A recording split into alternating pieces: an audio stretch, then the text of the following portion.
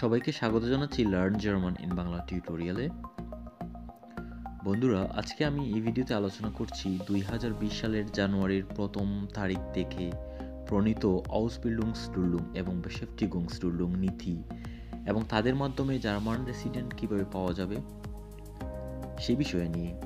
গত ভিডিওতে আমি আলোচনা করেছিলাম বেশেফটিগুং স্টুল্ডুং নিয়ে। তো আজকে আমি আলোচনা করব আউস বিল্ডুং স্টুল্ডুং নিয়ে এবং এ বিষয়ে কিছু প্রশ্ন নিয়েও আলোচনা করব।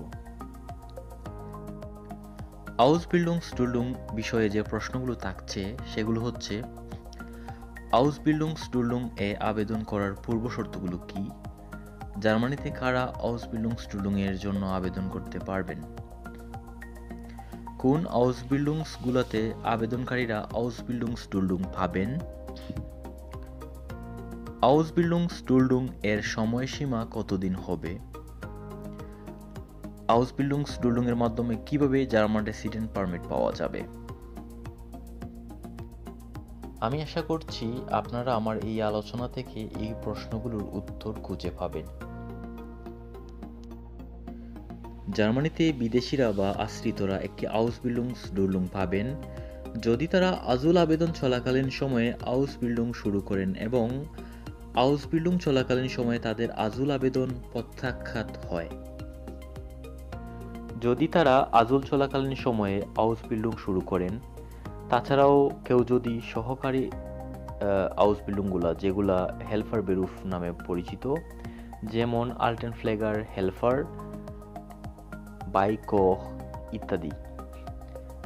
এই আউস বিলুমগুলো চলাকালীন সময়ে যদি কারও আজুল আন্ত্রাক ক্যান্সেল হয়ে যায়, তখন যদি তারা আবার এই সহকারী আউস বিলুমগুলোকে একটি যোগ্যতা সম্পন্ন আউস বিলুংয়ে রূপান্তর করতে পারে, একটি কোয়ালিফিসিয়াটে আউস বিলুংয়ে রূপান্তর করতে পারে, যেমন সহকারী নার্স থেকে নার্স, অর্থাৎ আল্টেন ফ্লেগার, হেলফার থেকে আল্টেন ফ্লেগারে বাইকখ থেকে কখে এবং যদি তাদের পরিবর্তনের ক্ষেত্রে বন্ডেস আর্গেন্টুয়া ফুয়া আরবাইটের অনুমোদন থাকে, তখন তারা আউস বিল্ডুং স্টুলুংয়ের জন্য আবেদন করতে পারবেন।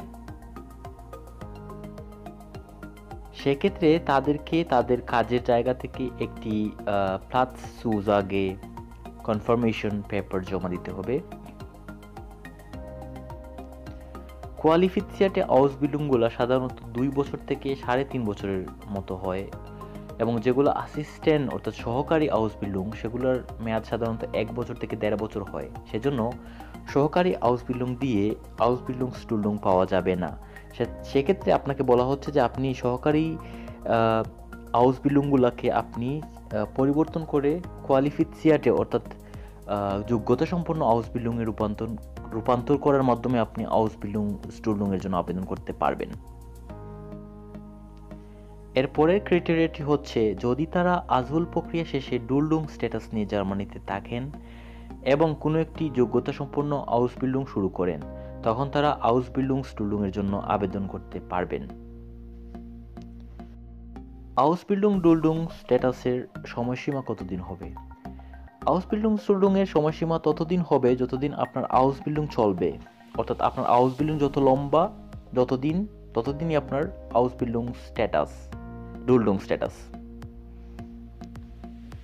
জার্মানিতে অনুপ্রবেশ অবস্থানের ধরন ও অবস্থানের সময়সীমা অনুযায়ী যারা আউস বিল্ডিং স্টুলডুং এর জন্য আবেদন করতে পারবেন যারা একত্রিশ ডিসেম্বর দুই হাজার ষোলো এর পরে জার্মানিতে এসে আজুল আবেদন করে বিফল হয়েছেন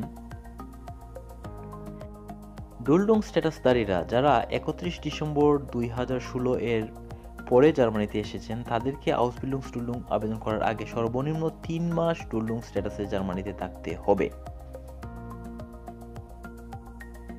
এই তিন মাস ডুলডুং থাকাকালীন সময়কে ফর ডুলডুং সাইট বলা হয়। যারা একত্রিশ ডিসেম্বর দুই হাজার ষোলো এর আগে জার্মানিতে এসে আজুল আবেদন করে বিফল হয়েছেন, ডুলডুং স্ট্যাটাসধারীরা যারা একত্রিশ ডিসেম্বর দুই হাজার ষোলো এর আগে জার্মানিতে এসেছেন, তাদেরকে আউস বিল্ডুং ডুলডুংয়ে আবেদন করার আগে তিন মাস ডুলডুং থাকতে হবে না। তারা সরাসরি আউসবিলুংস ডুলুংয়ে আবেদন করতে পারবেন এবং আউসবিলুং শুরু করতে পারবেন। তবে শর্ত হচ্ছে তাদেরকে একত্রিশ অক্টোবর দুই হাজার বিশ এর আগে আউসবিলুং শুরু করতে হবে। যারা এক জানুয়ারি দুই হাজার বিশ এর আগে জার্মানিতে এসেছেন, তাদের ক্ষেত্রে আউসবিলুং স্টুলুংয়ে আবেদন করার সময়সীমা তিরিশ জুন দুই হাজার বিশ পর্যন্ত।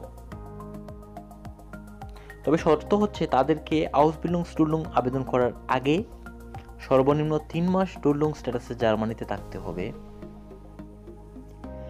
যারা এক জানুয়ারি দুই হাজার বিশের পরে জার্মানিতে এসেছেন অথবা আসছেন, তাদের ক্ষেত্রেও আউসবিলুং স্টুলুংয়ে আবেদন করার সময়সীমা জার্মানি আসার প্রথম ছয় মাস পর্যন্ত।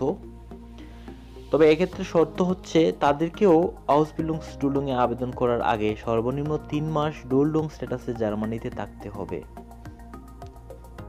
আউসবিল্ডিং শুরু করার নির্দিষ্ট কোনো বয়স সীমা আছে কিনা? না। যে কেউ যে কোনো বয়সেই আউসবিল্ডিং শুরু করতে পারে। যদি সে একটি আউসবিল্ডিং অর্থাৎ কাজ করার জায়গা পায় এবং সেখানে তাকে অনুমতি দেওয়া হয় কাজ করার ক্ষেত্রে। নতুন যারা আউসবিল্ডিং শুরু করতে যাচ্ছেন, তাদেরকে জার্মান ভাষার লেভেল মিনিমাম কমপক্ষে আটসওয়াই এবং সর্বোচ্চ বে আইনস পর্যন্ত সম্পন্ন করতে হতে পারে। আউসবিল্ডিংয়ে প্র্যাকটিক্যাল এবং থিওরিটিক্যাল লেসনগুলো চলে।